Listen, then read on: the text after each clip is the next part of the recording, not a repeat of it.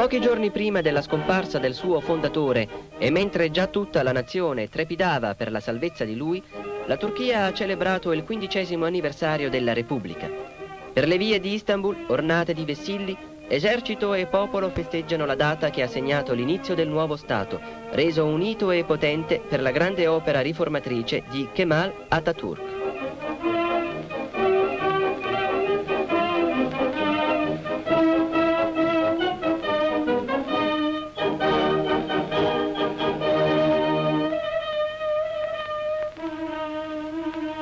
Música